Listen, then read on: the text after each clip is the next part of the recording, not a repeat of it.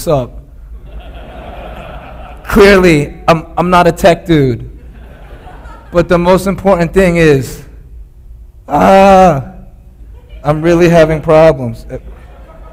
I press it, I press it. Oh, I get money. So hold on, let me see. Let me, I'm gonna go for it. Oh, yes, all right, it works. So that's that's me. I get money, and what I'm here to teach you today is, don't be afraid to offend people, right? Do not be afraid to offend people. And one of the things I find very interesting about people starting businesses, they're they're embarrassed to get money.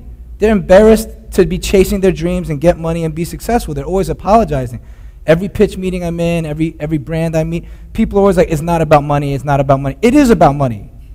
Should not be embarrassed to be about money. And I'm about money. I'm also about a healthy disrespect, right?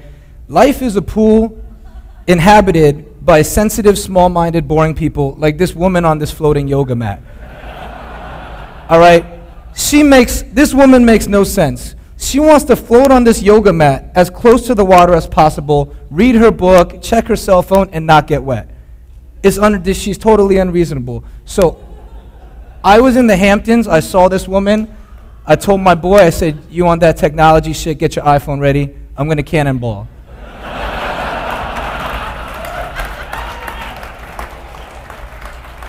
I got this chick, her book, Stupid Wet. But you see, her man, that's her boyfriend in the back. He loved it so much, he was taking a photo too. Because he's dating this unreasonable woman, so he's the most unhappy. But that's the thing with business. Customers, they're unreasonable. Before you even have a chance to put your product out there, to put your name out there and tell your story, all your friends, all your, all your uh, counselors or consultants, everyone's telling you all these things that you need to be or that you can't be or that's going to offend people. Don't listen to any of them. You're the only one that matters. And if you don't tell your story, nobody's going to buy it. All right? We all know what people expect. Every single one of us is different, idiosyncratic, rare, and really, really special. So you just want to be that person. Like, don't ever let people curb you. So my life as an entrepreneur started when I was six years old. I ride for Optimus Prime. I love that motherfucker. All right. My parents were so cheap and Asian, they would never buy me toys. So literally, my mom was like, Look, I got you a toy. It's a pot, and, and, and there's, a, there's a spatula. Just like hit it.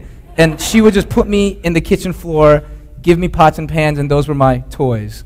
So I, I wasn't for that. I saw all these other kids in America growing up. They had Ninja Turtles, Transformers, Thundercats, and I was like, I'm not going out like this. I'm not going out with fucking pots and pans.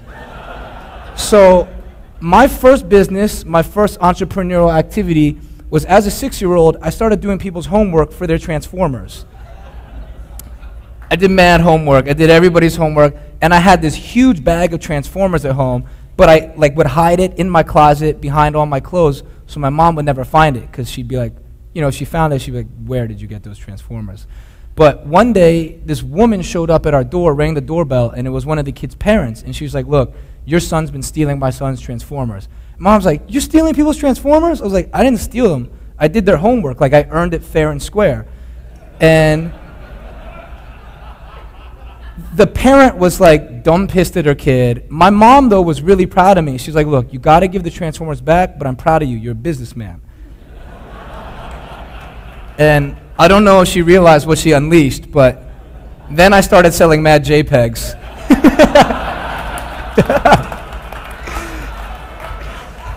so you all, are, y'all tech people, like, you all all remember AOL chat rooms, right? I was like in seventh grade in AOL chat rooms, and I remember seeing like Daisy Fuentes on MTV, and I'm like, I gotta see her titties. I gotta see this girl's titties. So I went in these AOL chat rooms, like, yo, I got Jenny McCarthy. Who got Daisy Fuentes? And I was like trying to trade. And I realized, I was like, yo, you could get like one image, scan it in from like your dad's Playboy, and then you could trade those images for multiple, multiple images. So I would take one and I traded it for a bunch. Then I was like, I'm going to take this business one step further. I started putting all these JPEGs on a 3x5 diskettes and selling them at school to kids. Because these the kids like had no idea like how the porno hustle worked. And I was like, yo, I got you. and so from, from JPEGs, I started bootlegging CDs, I started playing ghetto rummy, and I started all these various Asian businesses and they were all very successful, but they got me in a lot of trouble, and I ended up going to five different schools in seven years. I was in detention all the time, I was suspended, but I was having a great time. And I knew there was nothing wrong with me. I was like, this is, this is the entrepreneurial spirit. I'm not ashamed of it. I get paper. And yeah, when I could and I was old enough and I could bounce, I went to a place called New York where people appreciate a good bootleg. and I've been great ever since, but I got to New York, and that, that fucking city is expensive, right? That was my first studio apartment in New York. And the new business I took on, we stayed with the Asian theme. I started importing rare Nikes from all different parts of the world. So Nike has this program called Nike SB, and it was built on like building street credibility, limited edition, quick strike sneakers. Even in New York, there'd only be like 60 pairs of like the Dinosaur Juniors or something. Uh, when they came out, they had like De La Soul shoes. They were the most sought after, most valuable aftermarket sneakers in like the entire Nike empire. So I started getting them from cities all around the world that didn't have the market for them, whether it was Australia, sometimes it was Iowa, sometimes it was New Hampshire, Hong Kong, and I would import the sneakers into my 400 square foot studio apartment, and I literally lived like this for three years. But I was balling, and nothing's that crazy if it works. So, me and my friend Steve, we started selling these sneakers on Craigslist, and every Saturday morning, when the shoes would drop at other stores, I'd open up my apartment and there'd be a line of kids down the street in New York, all wearing crazy fitted hats and strange sneakers and Native American prints, waiting to buy the things I had in my apartment. And it was a lot of fun. But I was one of those people that I needed inspiration too. I always wanted to be inspired. And about two years into selling sneakers, I saw this magazine cover. I was in Arizona and this magazine cover changed my life. I saw Obama's face, and as somebody growing up in America, where to me, America always looks white, black, and one aisle of Goya cans at the supermarket, I gravitated towards Obama because everyone thought Hillary was going to win, and I was like, who is this dude? He really has a chance. Like, who is he? Like, I related to him. Clearly, you know, I grew up on hip hop. I grew up on a lot of like African American culture, I saw it and I, I gravitated. I started reading about him and I loved it. he stood up when nobody else would stand up and oppose the war in Iraq. And I was like, this is somebody I can get behind because he always speaks his mind. I mean, he's not speaking as much now, but he, he did always speak his mind. And um, I read about him. I really liked his policies, and I said to myself, I'm about getting paper, but I need some whys. I need a why I'm getting some paper for my own self fulfillment. And I loved the sneaker thing. I stayed with it. But I, I saw people also really into streetwear, t-shirts, hats, pants. And the t-shirts would a lot of times have hip-hop messages, subversive messages, but not really political messages. And so I decided, I said, you know what? I'm going to make political streetwear shirts. That Christmas, the Jordan 5 Fire Reds were coming out, Chicago colors, black and red, just like Jordan and I decided to take Michael Jordan's rookie jersey, and it said Chicago, but I put 08 and I put Obama 08 on the back. And I started selling them to stores. And I started a company called Bergdorf Goodman because, yeah, Bergdorf Goodman obviously is like that super fancy department store that none of us shopped at. And I was like, yo, I'm Bergdorf Goodman. And, um, you know, obviously we ended up on BET. and then, um, it was, it was a lot of fun, and, and I started making these Obama shirts. But initially, when I started making them, there was a lot of friction. People didn't believe in it, and they were like, "Yo, you're in New York. Hillary owns New York. Like ev- all of New York is behind Hillary. Hillary's going to win this election. Obama has no chance. Like we don't want to align ourselves with that Obama brand or your brand because we think it's going to offend people." And I told them, I said, "Look at your customers. Look at who we're serving. Like we're not going to offend anybody. All our customers are Obama supporters. And I said to them, if you care and you want to make a difference, use commerce. Use commerce to make a difference. I didn't decide to go volunteer for the Obama campaign. I didn't go canvas towns. I got money. I got money and I donated a lot of it back. But my belief is that you can do more for people by being commercially viable. And not only can you help with money, but if you have a valuable product, people will listen to what you have to say. And the most important thing is while you're getting money, don't forget your whys. All right? That's the most important thing. So I only had two stores in New York carry the shirts initially, and it was they were all on consignment. They were like, if it sells, you get paid. If it doesn't, you got to take it back. And they only really did it for me because they were my homies. But in March, about a month after trying to sell them around New York City, I got an email from this guy Nima. And Nima is the founder of Digital Gravel, which is the first company to sell streetwear online. He had a really good relationship with artists in San Francisco, LA, New York, Hong Kong, uh, the Middle East, everywhere. He'd carry everybody's shit. And Nima godfathered streetwear because there's only so many customers you can reach in New York and LA, and these streetwear brands couldn't scale. Nima made it possible for people to scale and to ship worldwide. And there was almost, it was like an online magazine because you went on every day. Nima had new shirts, they had new messages, and all these descriptions. And Nima gave me a phone call, and I never thought I'd get a call because at that time he was probably the biggest guy in streetwear. I picked up my phone, yo, what's up? He's like, yo, it's Nima from Digital Gravel. I'm like, stop playing. He's like, no, it's Nima from Digital Gravel. And he wanted to carry my Obama shirts. He wanted to basically buy all of the shirts I had produced, you know, like 144 of them, and go sell them on his website. And I couldn't believe it. And he's like, dude, I have been waiting for someone like you to come around who does the damn thing and doesn't care what people think and doesn't care how many people he offends because he believes in something. And Shepard Fairey is very famous for his Obama prints, but Nima carries Shepard Fairey's brand Obey. And back in 07, early 07, I was making these shirts before Obama even declared his presidency, his candidacy. And um, Nima had asked Shepard, like, yo, we all believe in Obama. Why don't you get behind him and do some shirts? And Shepard and a lot of other streetwear artists were like, we don't want to touch that. We don't want to get involved with that. And obviously, he ended up. But I believe, and a lot of people in streetwear believe, like, that wouldn't happen if there wasn't someone like Nima and someone like me who took a chance and put what they believed out there for commerce. So Nima, Nima's the man. It wouldn't have happened without him. We put the shirts up, and they all sold out the first day. So it's very important to remember your audience. And I believe in the Obama shirts because it was like streetwear is an urban thing. It's a hood thing, and, and, and it's a hip-hop thing. And I knew that the people in our culture were going to support this 100%. That's Twista. You guys may remember Twista. He's like the fastest rapper in the world. He was rocking that shirt. Um, this is Noreaga. Well, what? Making it happen. Uncle Murda, Ghostface. All right, I had these other shirts that were like the Forbidden City, and they said just colonize it. Yup. And uh, we were very on that offend and conquer thing. Um, then, you know, Ghost used to bring me to Rock the Bells. I ended up styling Ghost for his tours and making T-shirts for Ghost and other Wu-Tang members. 50 Cent wore the stuff. Um, it totally blew up. But the most important thing is that I never forgot why I was doing it. I was all about getting money. I was never embarrassed about the hustle. I respected the hustle, but I never forgot why I was doing it.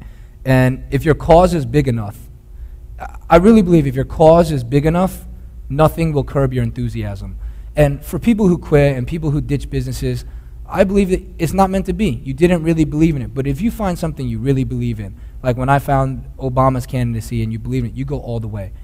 I mean, I was broke forever. I was on trains selling these T-shirts. I was a law student. People would laugh at me for trying to sell these T-shirts in the cafeteria at school, in the lounge at school. Everyone thought I was a joke, but now, you know, like I had a successful T-shirt business. I was an attorney at a top 50 firm. You know, I have a very successful restaurant in New York. I have a book and two shows coming out. Like, you believe in yourself, you believe in the whys, and you believe that what you have to say matters and needs to be heard. And it doesn't matter how many bitches on floating yoga mats think you suck, you have to tell your story. And that's it. That's it.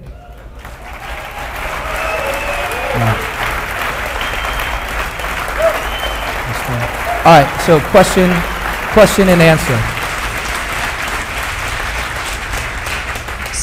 So now I want to know: Did you become a lawyer because you wanted to be, or because you wanted to, your mom to be happy? What's up? Sorry. Did you become a lawyer because you wanted to, or because you wanted your mom to Do- No, I was in a lot of trouble. I had I had like a couple strikes, and I wanted people to respect me. Like I was an intelligent person. Like in college, I won the Zora Neale Hurston Award for the funniest. I was like taking African American studies and women's studies, so uh, I won that award. I was a good kid, but I was always in trouble, and I had some strikes. So I went to law school because my parents wanted me to, but also because I knew I needed a piece of paper that was like, "Yo, he's official," you know. And how did you get involved in food?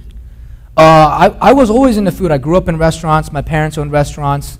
And my dad is a very funny guy, too. He's a hustler. He owned steakhouses in Italian restaurants, but he would hire American chefs to front as the owner and the chef because he was like, no one wants to buy steak from a Chinaman, you know? and he was very realistic about his view of America. I got a lot of it from him, but I always liked my mom's food better. So when I got a chance to open a restaurant, I did authentic Taiwanese food that we eat at home, all the techniques and flavors I'm used to, and I did it our way. And my dad at first was like totally against it. He didn't believe it worked, but it worked, and we're like a huge inspiration to, you know, ethnic minorities in America who sometimes are made to feel like their shit isn't good enough, but it is. Uh, you talk about telling your story. Uh, you're very active on Twitter. I follow you now. Thanks. Uh, so, what what is your you think your personality means to your business? Uh, you know, you have a great product. It sounds like with your restaurant, but if you remove your personality from it, you remove your story from it. Does that lessen that product? Or Yeah, no, definitely. I believe in karma too. And, and the thing is, a lot of people are like, look, I want to keep. Restaurants don't take on politics, restaurants don't have political blogs affiliated with them. But I learned so much from selling those Obama shirts that when I opened the restaurant, I put all my thoughts, feelings, and beliefs onto this blog. I was a huge mouthpiece for, for certain issues, especially about identity, race, and food, and immigration. And people gravitated towards it. And there's people that don't even agree with a single thing I write on my blog, but they email me all the time. I respect that you put it out there, and I support your restaurant, I support your food, because it's real, it's genuine, you take chances, and it's, it's authentic. You know, and, and I think that's important is why not put your personality behind your product? Like, I want to know who's behind Sprouted. I want to know who's behind Skillshare. I want to know who's behind all these companies. Like, why not? You know, I want to know where my money is going because you vote with your money. I, I think your where you spend your money is more important than where you vote. We vote with money every day, and I want to know who I'm voting for. Anyone else? Okay. Oh, hello. Hey, uh, thanks for your talk. It was awesome. Um, you said that everything's better if it's commercially viable if you want to help people. What do you think about the social entrepreneurship space that's sprung up and this whole concept of we're helping people but we're non for profit and we don't need to be commercially viable? Yeah, I'm not the biggest fan of saying like not for profit because I mean people do get paid, and and it's like why why should it be not for profit? Like, you know, Microsoft makes so much more money than a nonprofit does. Like, why not apply those same skills and those same methods and that same vigor and energy to like social causes? You know, like I donated, I think five or ten percent of the shirts back to Obama's campaign, and that's more than I would have been able to give if I hadn't been selling T-shirts. So I think it's very important to see everything as like a money-getting venture. Yesterday there was a question to the panel about uh, failures, things that don't work out. Can you share a story or two of some that hustle or whatever you're trying to create that didn't quite work out and what a lesson? Yes. So this is this is very important. I was telling people the other day, you know, someone was telling me about Big Omaha and how they didn't want it to get bigger. And they were like, we want to keep it this size. We don't want it to get bigger because we want to keep the character. And I was like, you know what? You should get bigger. It's Big Omaha. You should get bigger because if you don't get bigger, someone's going to come fuck it up. You know, someone will create another bigger one very close to you. And just like how people think Southwest by South by Southwest hasn't gotten bigger, everything gets bigger and evolves. You can't help it. And um, Nima is a very good example of a, of a failure that I was a part of. Is Nima never took ads on Digital Gravel. He was the most honest guy. He always kept it real. He'd carry lines that didn't even sell just because he believed in them, and it was important. But Nima kept it so pure that there was a void for Karmaloop to fill, which Karmaloop was able to come in, carry only the brands that sold, discount them below Nima and all the brick and mortar retailers in every town. And Karmaloop single handedly destroyed streetwear culture. And it's probably not beneficial for me to say that, but that company destroyed a culture that meant a lot to me because there's, there should be something involved with like I bought these sneakers. I want to go to the store. I want to meet the skate kids. I want to meet the hip hop kids at the store. You develop community. But Karmaloop destroyed that community. And I wish, and I talk to Neem all the time about. I'm like, man, I wish you defended your territory more. Like I wish you pissed on your territory so that they never would have had an in. And he didn't. And so my failure too. I went down with Nima because I wouldn't sell to the Karmaloops. I didn't sell to department stores. We all went down together. Um, it was honorable. It was like a very Brutus-like death, but you know, I, I, I always remember that quote from Catcher in the Rye, like something like the immature man wants to die for a cause, the mature man wants to live for one. Like I would like to live, I would like to be successful, I would like to get papered, you know. So I lost because I was a sucker. Yeah. Uh, is there another? Oh, no. Yeah. Yes. Um, Hello. I just had a question with everything that you've been doing. It's kind of all these different areas. Um, you know, being an attorney and then a T-shirt company and now a restaurant. Kind of go through your creative process of how you see the next thing coming, and when you feel it's time to move on to the next thing. Um, do you just kind of always have something in the works, or um, is it just there when it's there? Yeah, I have this really big bong called a Roor, and I hit it every night, and every night it tells me to do something new. No, but um, uh, no, but for real, like I think that's part of the thing about not offending and not being afraid is if I want to do something, I go out and I get it. I call somebody in that industry like, "Yo, what's up? You sell T-shirts? I want to sell T-shirts. How do I do this?" You know, and um, I'm not afraid. People like my managers or agents are always like, "Look, we need to define who you are. People aren't going to understand who you are. You're way too many things to way too many people." And I was like, "I don't care. They can catch up." You know. If I make a big enough impact, Wikipedia will explain that shit to them. You know. So, yeah, um, it is important. I use Google Docs. That's one of the like only things I'm technologically capable of using. But every single time I get an idea, whether it's like eating or taking a shit or in the whatever, like I I will run out of the shower and go on Google Docs, butt ass naked, and my brother's just like, oh hell no, not again, you know. But like, yeah, I use Google Docs. Anytime I have an idea, I put it there. And when I'm uninspired or I'm bored and I'm looking for another project, I go back and I'll go find things I wrote down like five years ago. And I'm like, that was ill.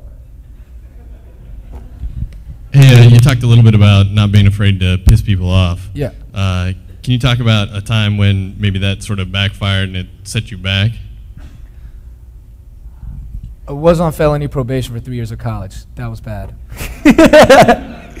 no, I, uh, yeah. V- fighting, fighting. I, w- I got jumped by some frat boys. That was not cool. And, and I fought back a little too hard. So, yeah. Uh, nonviolence. I'm all about nonviolence. So, I think that's where it backfired. But in business, I can't remember a time where I offended people and it didn't. And it's you can't just offend people to offend people. It has to be real. Like I offend people collaterally. It's just collateral damage, you know. But I don't do it on purpose. I'm not malicious. Like I think that's where people go wrong when they try to be sensational or be someone they're not. Like it has to be real. Straight to the back there. Uh, I'm just curious. Obviously, you've uh, scaled up past you know swapping JPEGs in AOL chat rooms, but walking around, you still just like come up with all these little small time hustles? Sorry, And say, if- say that again. uh, obviously, you've scaled up past just these little small time hustles where you're uh, you know trading JPEGs in AOL chat rooms. But is that part of your personality? Like, does that still happen, and you just don't have the time for them? And obviously, you, you can spend your time better than that. And if so, what are some awesome small time hustles you've come up with Yo, lately? English is my second language. I'm totally confused. What happened? Sorry. that are going on. side projects going. Yeah, I mean, like, you know, when I get bored, I always will make up like a special at the restaurant, tweet it, promote it, and I promote it like it's a new restaurant opening every single time. It's like on Instagram and Twitter and Facebook. I call all my friends, like, yo, we got a new item, let's go eat it. So it's just fun. Like, any excuse to throw a party, I think is fantastic. Right in the back, please. So hustle is a huge part of like who you are, your personality, but obviously you've got some businesses that, that have begun to scale. Um, how do you think about going from the hustle and the ideas to you kind of building a system? You know, you're looking at your restaurant and that's become really successful. Your other businesses. When do you start to transition? When do you bring in other people to actually scale a business? Oh man, that that is the hardest part. Like finding good staff at restaurants to scale, finding good partners you trust is is the hardest part. And I don't think there is like a, a definer or whatever. I, I read a lot of Susan Miller on Astrology Zone. She's very helpful. Um, yeah, but um, I don't know, man. I, it's just it's just whimsy. Like I meet someone, I'm like, you know what? I want to do business with you. Let's go do some shit. And and that's really what it is. I gravitate towards people. Like I do it when it's fun. I don't really like. I'm not trying to take over the world. I just want to have fun. I want to express myself. I want to tell my story. So when I need to scale up to tell my story, that's when I do it. I have a quick question for you. I mean, when people meet you, they may not assume that you're a business owner. Yeah. They may not assume that you're a lawyer. All these different things. So tell me a little bit about expectations people have of you, and do you worry about that in your meetings and how you approach that? Yeah, no, this all goes back to being a kid. Like, I really didn't like the model minority, like stereotype and myth. And I was one of those kids they took out of school when I was really young. I was like, yo, you're smart. They put me in like combination advanced classes. They tested my IQ all the time, had me look at like weird psychological inkblot shit. And I was just like, yo, I don't want to be like a lab rat, you know? And I don't want to like have my life determined by my skin or my face. I thought it was really fucked up. So, or my intelligence. So I kind of like played stupid, and I would always play stupid, and and I would, I was an underachiever. I didn't really want to achieve. I just wanted to have fun, and I wanted things to be real. But when when my identity and my culture and, and things that I see that mean a lot to me come under attack, that's when I became an entrepreneur. That's when I decided to be a hustler because I was like, yo, like, it. No one's gonna defend the things you care about but yourself, you know. So, yeah. Uh, seeing as you're a big fan of hip hop, I was wondering if you had any freestyles you could share with us. no, I don't. I would not disrespect the game. no. this is as close as it gets, but thank you. We have another question straight to the back. So if we come to your restaurant, can we use like a code word Big Omaha and get a two for one special or anything? Done. No, actually, my, my real question, just uh, tell us a little bit about the restaurant, if you don't mind. Yeah, no, the little commercial. restaurant is really funny. It, it, it meant a lot to people in New York and especially Lower East Side when we first opened because I was walking around and I had, I, I had $30,000 when I opened the first restaurant, which is laughable. And it's even more laughable when 17,000 of it had to go into landlord security because I had no credit. And we opened a restaurant with $13,000. All right. Me, my brother, and like three friends worked for free. And we just hustled, and it, it looked like a bomb shelter. This place was 400 square feet, downstairs in a basement. We didn't even have like a bathroom for people to go to. It was just counter service. Our pots and pans were from IKEA. Our stools were from IKEA. Like, uh, you know, i the people might as well have been from IKEA. Like, you know, it, it was it was a hilarious restaurant, but it was when people came in, they were like, "Yo, this is." This makes no sense. They were like, this is crazy. Like, you have music that's offensive blasting out onto the street. You have people getting high outside. You have, like, you know, dirty ghetto kids, like, negotiating for cheaper bao prices. Like, it was just, it was funny. Like, the whole way we did it was unlike anyone else. We totally reinvented the wheel and broke the model. And the food was amazing. That was, that was the best part, is if the food was good, but what took it and made it like a cult thing and, and it really caught fire was that the, the experience, the human experience in the restaurant was unlike anything they'd ever seen. Eddie, I'm curious. Many of our speakers get a lot of press in major business publications and magazines. Your press is starting to go beyond business. You just ran a, a cover story in the New York Times. So, how, are, how is that affecting you, that exposure that you have now? Yeah, it's really important to tell your managers, like, fall back. You know, like, I always, you know, everybody's always trying to tell me, like, now that you're in this position, you need to be this, you need to be that. And, and I'll never change, you know, because the thing is that I don't think people that work with me understand, like, I'm playing with house money. I never thought I'd be here. I never thought I'd be successful. I mean, I was on felony probation in 2003 to 2006. Like, I thought my life was done. But I, I had a good spirit. I knew I meant well. I did the damn thing. And, and I, I don't think I'll ever change. I don't think anything will change. Yeah. Uh, another question for me, and a follow up to his. Uh, you went out to eat last night in Omaha. Wondering your take on Omaha's food scene, and if I get to New York, outside of your restaurant, what do you recommend? I'm really glad you asked that. If anybody here is in the Omaha restaurant scene or like the the beef industry, pause, like you guys got to do something because I went to this steakhouse and they buy their steak from Buckhead, which is in Chicago. So basically, there's 1.5% of all meat is prime, right? Only 1.5% of all meat is prime. 14% of that prime comes from Nebraska. You guys have the best beef in the world. But this beef, yes, it's true. But this beef gets shipped to Chicago to a distributor, then gets shipped back to these restaurants. Like that carbon footprint is ridiculous. It makes no sense. Like you guys need to have farm to table steakhouses. Number one, it'll help tourism. Yeah.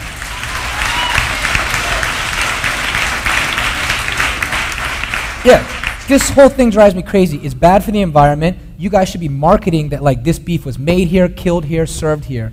I mean, it, it doesn't make sense. And like, I'm, I'm a tourist here this week. I wanted to experience like Omaha beef in the steakhouse. Like, I don't even know if this is from Omaha because it came back to us from Chicago.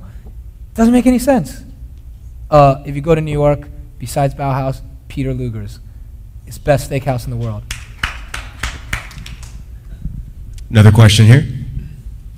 What's the creative process you used when you started screen printing? Did was it solo artists or did you have a team together or how'd you get your designs? My ex at the time was, uh, she was my girlfriend at the time, not my ex, but my girlfriend at the time um, was a really, really gifted artist. Now she's designing like the, the Pleasures bottle for Estee Lauder. Really, really creative girl.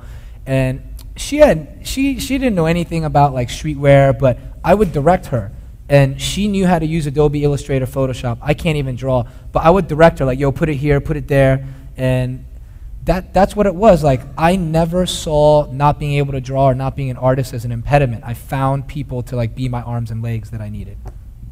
Great. I think we have time for one last question over here. Okay, loaded question. Favorite sneakers? Go. Ooh, man, that's a tough one. Uh, I, I've always said the fire red Jordan 5s because they meant so much to me. But I got these 11s that my boy Kenzo Digital gave me. I wear them at every speaking engagement. They're dope. Um, man, the Air Penny 2s, when they came out, I lived in Orlando. There's a big deal. The Union 180s. But yeah, uh, my De La Soul Dunks, my boy Steve gave me. Uh, the shoes I'm connected to are the ones that had like a story behind them. Like my mom wouldn't get them or a friend gave them to me because I couldn't find them. Like those are the best. Like, like sneakers are mad cool that way. So, all right, thank you.